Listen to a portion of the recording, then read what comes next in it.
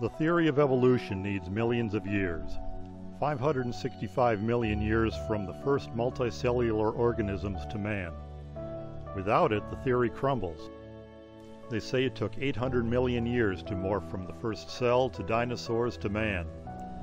It is all based on dating volcanic rocks with uranium, thorium, argon, potassium, and other elements with long half-lives. The problem is that they are measuring how much of the original element is left in a rock, and there is no way to know how much there was at the start, or if some was washed in or out over time. The same goes for the other elements in a rock such as radiogenic lead. Sometimes a volcano erupts, the rock is dated, and the result is millions of years when we know it happened recently. But it is important to know that long half-life radioactive elements cannot be used to date fossil bones and sedimentary rock. Three types of hard evidence, taken together, prove that at least the last 160 million years never existed. You know that carbon-14 has been used to date fossils of mammals from the last ice age. You may not know that it has also yielded dates in the range of 23,000 to 39,000 years before present for dinosaur bones because the test results were blocked from presentation in conference proceedings by the 2009 North American Paleontological Convention, the American Geophysical Union in 2011 and 2012, and by the Geological Society of America in 2011 and 2012. Animals ingest radioactive carbon-14 by breathing and eating. The carbon-14 in them at the time of death decays to nitrogen, with a half-life of 5,730 years. Carbon dating measures the ratio of radioactive carbon-14 to stable carbon-12 to get a radiocarbon date. If pre-treatment could not remove carbon that seeped in after a fossil was buried, this dating system would be useless. But effective techniques have been developed, and radiocarbon dating has been proven reliable with artifacts and organic remains whose age is known historically. Many dinosaur fossils are not petrified, but scientists who defend evolution are highly reluctant to test dinosaur bones for carbon-14. One is on record refusing to do it even when offered $20,000. So a group of retired professionals in science and education who challenged the theory of evolution, the Paleochronology Group, sent dinosaur bone samples to the University of Georgia's Accelerator Mass Spectrometer facility for testing.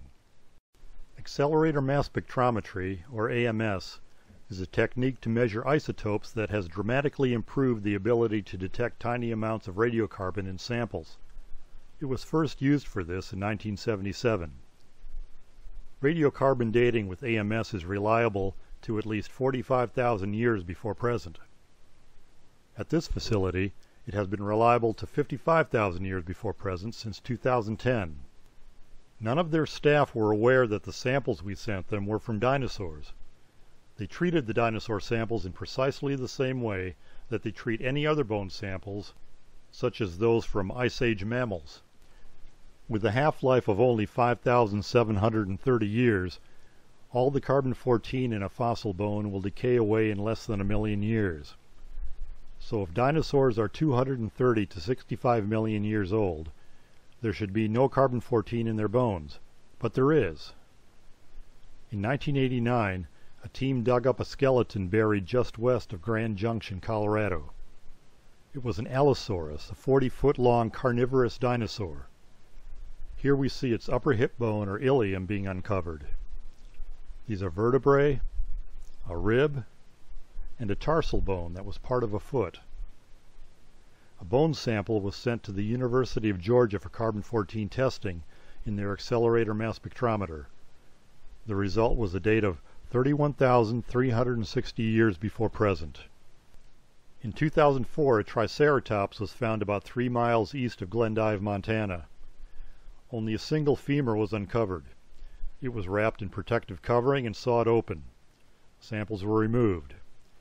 Testing for carbon-14 at the University of Georgia in 2009 resulted in a date of 24,340 years before present. In 2004, a femur bone from a duck-billed hadrosaur was found in Montana. it was dated to 25,670 years before present. In 2007, a Triceratops skeleton was dug up in Montana. It was dated to 39,230 years before present. The remains of a carnivorous dinosaur called Acrocanthosaurus was excavated in Texas in 1984. In 2010, it was carbon dated to 29,690 years before present.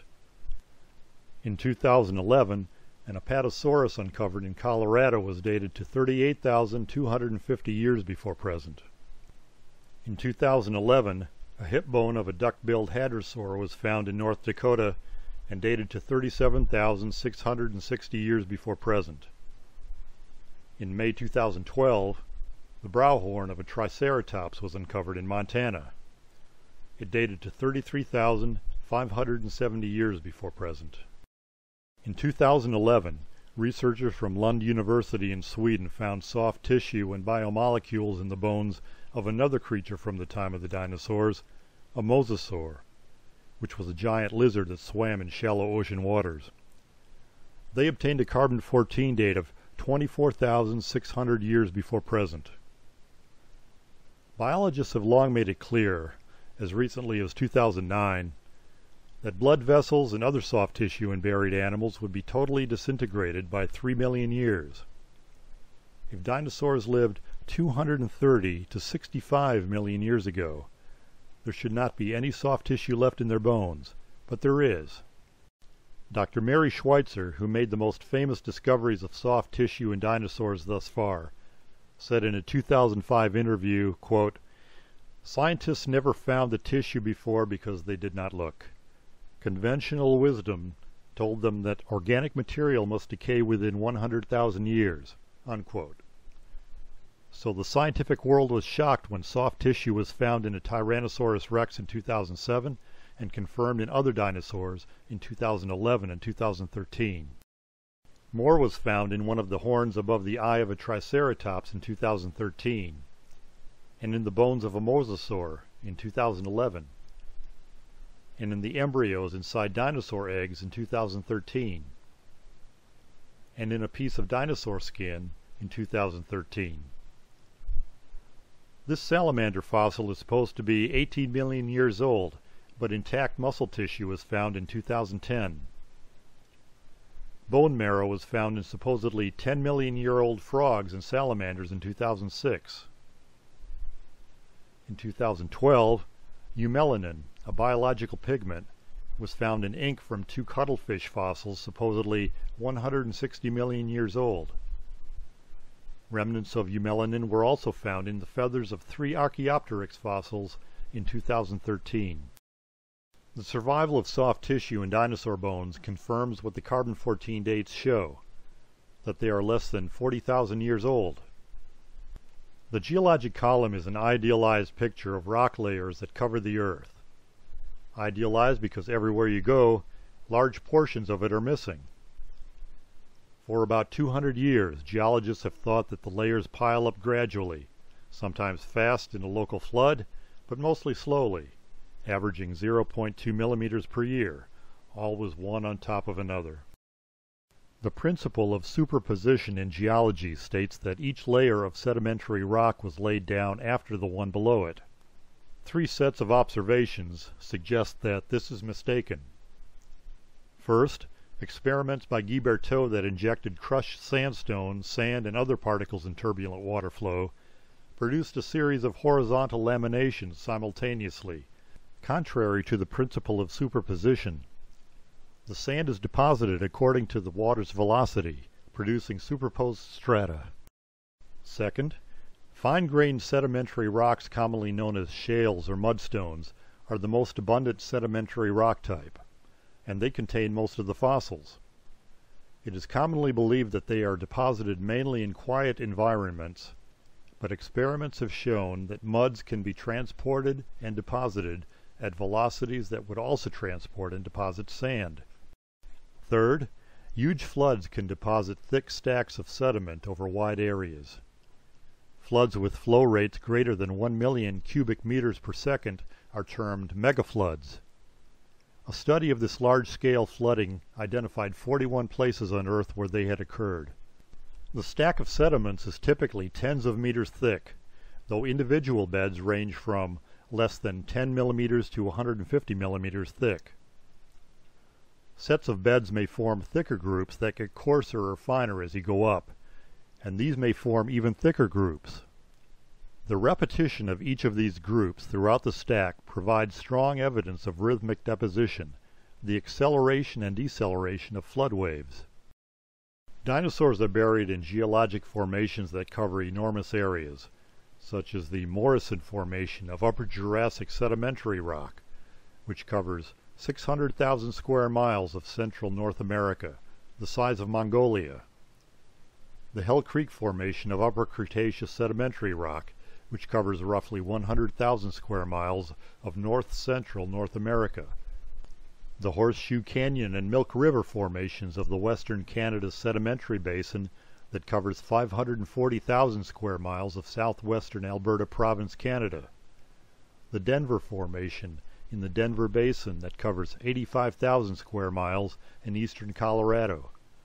And the Dinosaur Park Formation in Alberta, Canada and the Judith River Formation in north-central Montana in the Judith River Group that covers a region of western North America. Yet each of these formations is only 100 to 600 feet thick. They are the graveyards of thousands of dinosaurs. If you want to find dinosaur skeletons, that is where you look for them. A dinosaur would have to be buried quickly in order to be well preserved. A 6 to 10 foot wide adult would require at least that much sediment covering. Strata covering hundreds of thousands of square miles, standing hundreds of feet thick, containing thousands of bodies of large dinosaurs buried quickly before they could decay, or reburied from previous inundations, indicate emplacement by moving water on an enormous scale. Experiments have shown the capability of flowing water to deposit multiple strata simultaneously, including shale or mudstone. Megafloods provide real-life examples.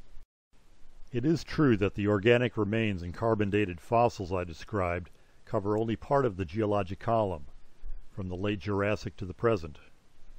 Much plant and animal life is supposed to have evolved before then.